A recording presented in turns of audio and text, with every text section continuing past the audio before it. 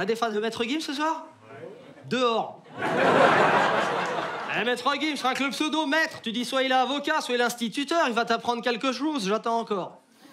On va écouter ce qu'il nous apprend, Maître Gremlin. La vérité, c'est que je m'auto-déteste.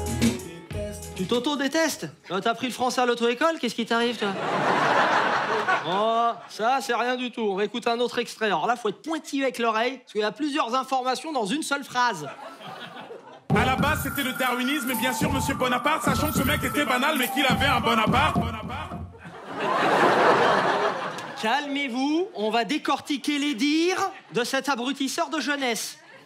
Donc le gars dit à la base, c'était le darwinisme et bien sûr Monsieur Bonaparte. Donc il passe du darwinisme à Bonaparte, genre c'est une évidence, mais c'est bien sûr. T'avais l'histoire pour les nuls, maintenant t'as l'histoire selon Maître Gims. C'est une histoire Ikea, tu la montes toi-même. Tu choisis ta chronologie. Et j'imagine les conversations historiques avec ses potes au quartier. Ah maman, quand Hitler il découvre l'Amérique. Après avoir guillotiné François Ier. Là, là, il fait une alliance avec Clovis, le roi des francs-maçons. C'est ça.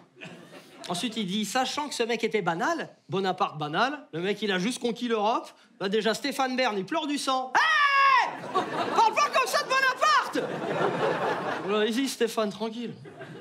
Ensuite, il dit, sachant que ce mec était banal, mais qu'il avait un Bonaparte.